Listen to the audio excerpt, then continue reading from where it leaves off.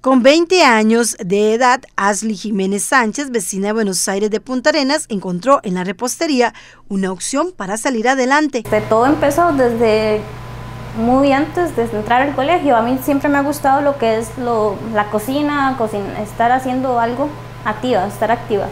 Y comencé haciendo cangrejitos, algo pancito casero, para todo para comenzar a recoger fondos para poder comprar mis cosas para gimnasia, para participar en un colegio de gimnasia artística y comprar mis cositas.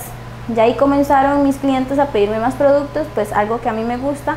Entonces fui creciendo y actualmente llevo ya tres años, tres años y medio haciendo mi producto. ¿Qué es lo que produces? ¿Qué haces?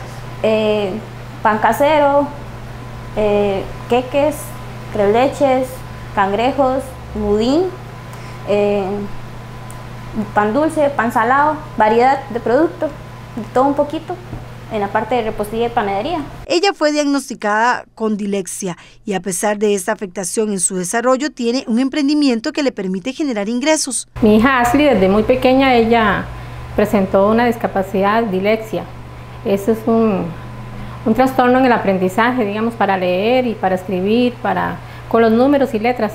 Pero a pesar de eso, ella no lo ha limitado.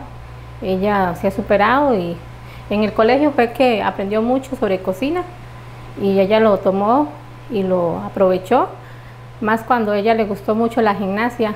Entonces ella dijo, aquí está mi, mi opción para poder ir a la gimnasia y comprar mis artículos eh, lo que es vestimenta y, las cosas que ocupa para la gimnasia, ella lo ha logrado a, puro trabajo con la, con la cocina, panadería más que todo, repostería, pero ella se ha, superado mucho.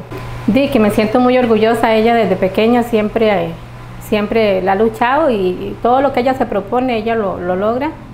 Ella, ella si quiere algo, ella se propone y, y lo hace.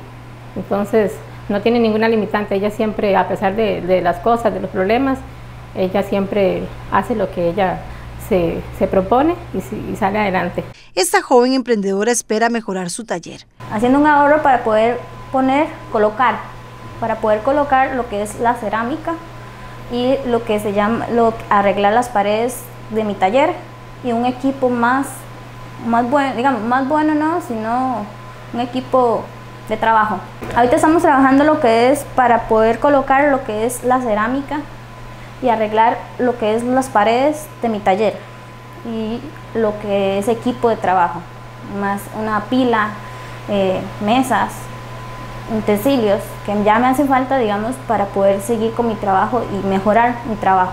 Ashley dijo que si se lo proponen se pueden lograr grandes cosas. Que sí se puede, que, soñar es de gratis, que sí se puede y, no limitarse jamás y luchar por lo que uno quiere y por lo que sueña y salir adelante con la mano de Dios y con, con los amigos, con todos, pero sí se puede, no detenerse. Actualmente esta joven necesita mejorar sus instalaciones. Si usted quiere colaborar con ella, puede comunicarse al 89 68 27 85.